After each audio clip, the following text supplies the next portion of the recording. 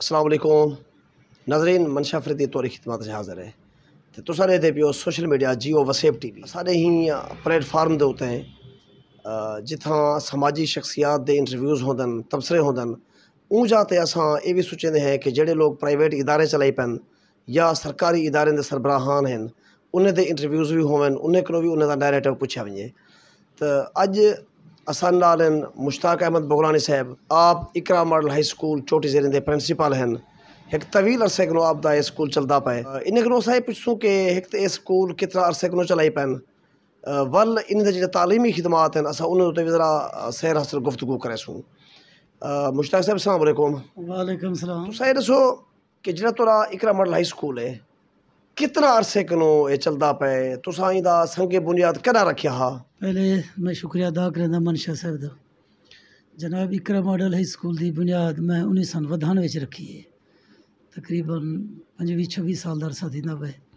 اے school چلدا جڑا تو تعلیمی خدمات ہیں نا انہاں دا کوئی رزلٹ کوئی نتیجہ اتھوں فارغ ہو تحصیل جڑے سٹوڈنٹس ہیں انہیں دی این ٹائم تک جڑی سرکاری اداریں دے ویچ یا پریویٹ اداریں دے ویچ جو خدمات ہیں او نہ سکتو انہیں اہداف کو پوائنٹ آؤٹ کرو کہ جڑے اہداف تک تو سا پہنچے ہو تو انہیں سٹوڈنٹس پروفیشنل لائف وچ کیڑی کیڑی جا تک پہنچ چکے ہیں جی منشا صاحب میرے سکول دے پنجویں سال دے عرصے دے دران کافی سٹوڈنٹ تقریباً زندگی دے ہر شعبے نال منسلک ہیں آرمی ہے چین پہ کرنل دے عہدے تک پہنچے ودن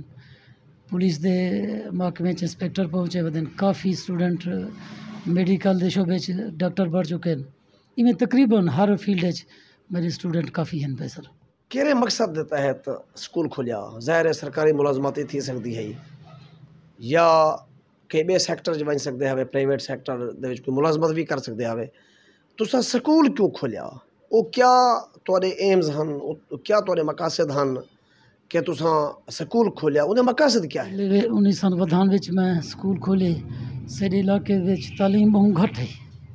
ذہن ویچ یہ جذبہ ہے کہ سکول چلاؤں سیڈے علاقے تعلیمی پسماندگی کو دور کروں۔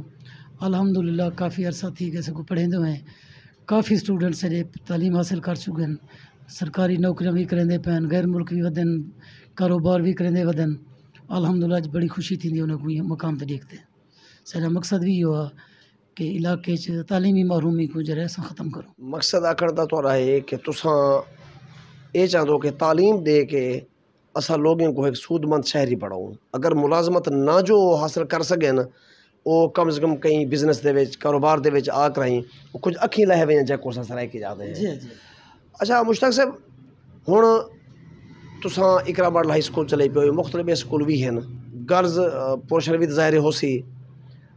تسا لوگوں کو کیا آخر چاہندو کہ یا تسا کیا وہ اٹریکشن پیش کرنا چاہندو کہ بھی لوگ تو ہلو آمین کیا تسا انہیں کو، انہیں دی مرضی دا ماحول دے سکدو کہ تسا سٹوڈنٹس کو ایک اچھے معیار دے تعلیم دینے پیو؟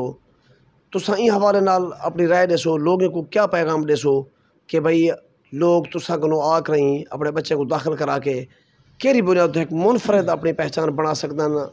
کہیں ادارے دے وچ، یا کہیں بھی کوئی بزنس کرن، کچھ کرن۔ مطلب آخر ہے کہ تساں انہیں کو کیا تعلیم دا اچھا ماحول دے سکسو یا دے دے پیو؟ جی منشا صاحب، تقریباً چھوی سال کری یہ کوشش ہے کہ اساں بچے کو اچھی تعلیم دوں۔ الحمدللہ، اساں بڑی کوشش بھی کیتی ہے۔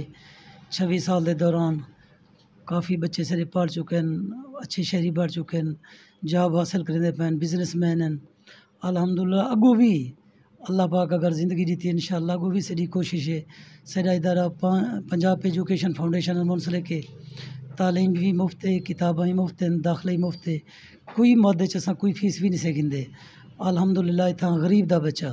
کافی اساں کنے پڑھدا پے اور اپنے توقعات جڑے توقعات گھنتے اندر اساں کنے، انشاءاللہ اساں پوریاں کرے دے اللہ دے حکم نال۔ کیا پنجاب ایجوکیشن فاؤنڈیشن ایک اچھا ادارہ ہے؟ ٹھیک ہے تساں ادھر منسلک ہو۔ لوگوں واسطے کیا ہے؟ ٹھیک ہے؟ جی منشا صاحب پنجاب ایجوکیشن فاؤنڈیشن بہترین ادارہ ہے، جتنا غریب دے بچے کو تعلیم دیتی ویندی ہے۔ بغیر کہیں امتیاز دے۔ اتنا کوئی کوئی کہیں قسم دا جبر کہ نہیں، کیونکہ چونکہ اج مہنگائی بہت زیادہ ہے، لوگ فیساں نہیں ادا کر سکتے۔ پرائیویٹ ادارے تعلیم حاصل نہیں کر سکتے۔ لہذا انہیں کو متبادل پنجاب ایجوکیشن فاؤنڈیشن ہے، جتنا غریب دے بچے کافی محنت کریں پن اور پڑھتے پن۔ الحمدللہ یہ تو لوگ بہت فائدہ چاہتی ہیں۔ بے شکریہ مشتاق صاحب۔